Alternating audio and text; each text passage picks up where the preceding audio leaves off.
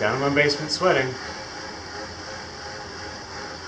I race a few times a year, mainly cross country marathon mountain bike races, which are generally longer distances of 40 or more miles and lasting more than three hours. I'm usually able to self motivate to train, but over the last few weeks I found it difficult to motivate.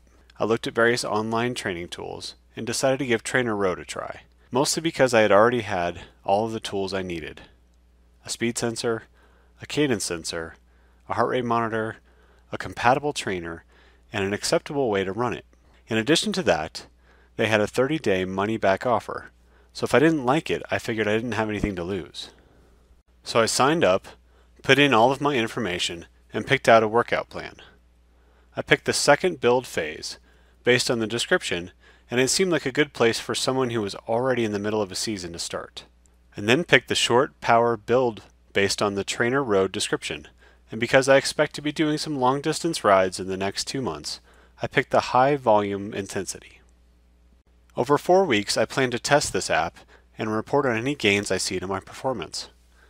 In addition to rating the experience of using this particular app, I'll also report on my fatigue, any significant weight changes, although I'm not actively trying to lose any weight, any increases to my FTP, and finally, if I feel like it's translating into a better fitness on my mountain bike rides. I did go camping this week, and I signed up later in the week than the workout started, so I only rode on Wednesday and Thursday, doubling up on Wednesday, and then made up an additional ride when I got back. While not an ideal way to kick this off, I do think it's a good way to see how things go when real life gets involved in training. The first day was an FTP test, and then the following days have been a variety of workouts, none of which really felt like they were out of reach.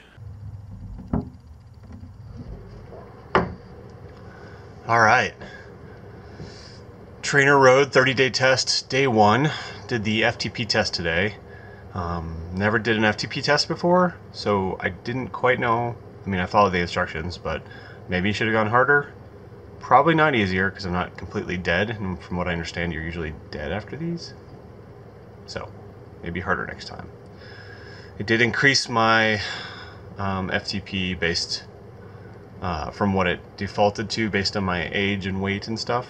So now I think it went to two, 282. Um, and then I didn't realize this, but it was also doing my lactate threshold heart rate, um, which had defaulted to 150, probably because it had no, again, based on age, weight, whatever. And it lowered that to 123. I'm gonna have to look up what that means. I don't know. But that's day one down. We'll see how the rest goes.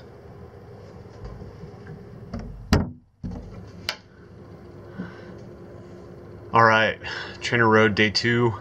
Um, I've actually done three workouts total now uh, because I'm going on camping tonight, and I'll be gone for a couple days, so I kind of wanted to get a few of those in.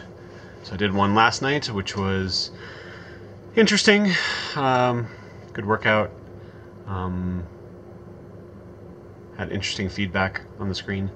And then I did one today at lunch, and that one was pretty good. It was pretty intense in the first, say, hour 20. And then um, for the last 40 minutes or so, it was pretty bland, I will say. I had a hard time staying focused. I actually fell off the trainer once because um, I'm on rollers and just lost my balance.